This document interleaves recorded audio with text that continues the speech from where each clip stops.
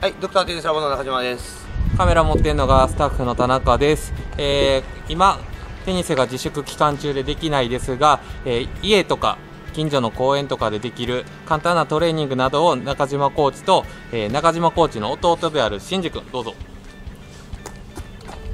はい、現役の大学生で選手もしてます新く君と2人に紹介してもらいたいと思います。お願いします。はい、えー、では、まず素振りからちょっとやっていきたいと思います。えー、このままバックでこう、1、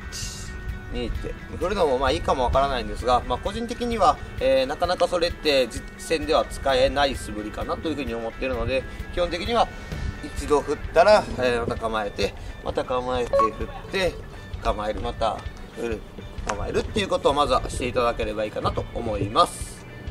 で、えっ、とまあ、次にですね、えー素振りするときに意識しているポイントなんですけれども、えっ、とやっぱり、えーちょっとフォアでやっていくんですが、意識しているポイントは、やっぱり打点をしっかりと、えー意識しながらスイングするっていうことを意識してください。ただただこう、振る、戻る、あ、横向く、はい、振る、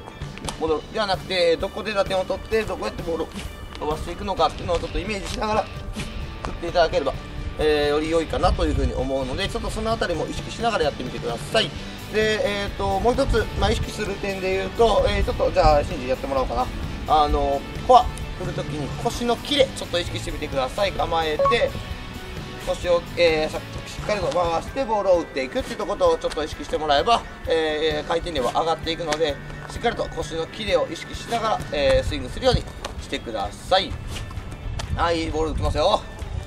はい、えーとまあ、こういったところをちょっと意識してもらえばいいのかなというふうに思うんですけれども、まあ、数よりも、えー質を意識してもらいたいかなと思います。100回振るからって言って、振って構えて、はい、また振って構えてではなくて、1回1回きちっと、えー打ってもらえるのが一つ大事かなというふうに思うので、まず、えー静止した状態でしっかりと振って、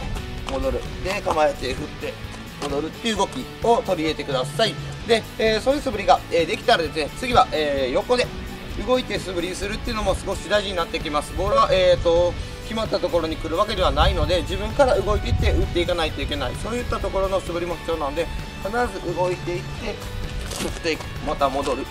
また動いていって入って振っていって戻るってところを意識してください。特に素振りしてるとだんだんだんだん雑になることが多くなって踏み込みがなかったり、えー体重が後ろに残ったままスイングをしてしまったりすることがあるので1回ずつしっかり踏み込んでしっかりと前に振って戻る。そういったところを一つ一つの動きをしっかりと注意しながらやっていただけるといいかと思います。バックもないですね。踏み込んでいって打つしっかりと戻る。また入っていって打つしっかりと戻るっていうようなことができてくるとちょっと良くなってくると思うので、えそのあたりも意識しながらボールが飛んできてるイメージをしながら素振りしてみてください。